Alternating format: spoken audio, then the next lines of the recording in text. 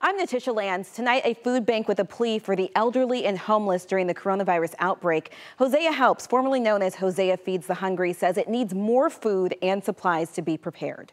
We need to add to the food boxes that we're giving away uh, on a daily basis. Hosea Helps CEO Elizabeth Omilami made the ask during a South Fulton community meeting tonight on the virus. The organization already delivers food boxes to more than 60 families in need every single week.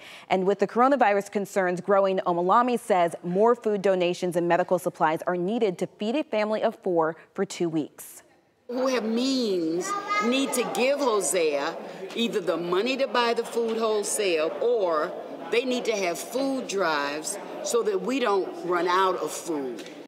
Omilami says they will take food and monetary donations. We have a link up for you if you would like to give on 11alive.com.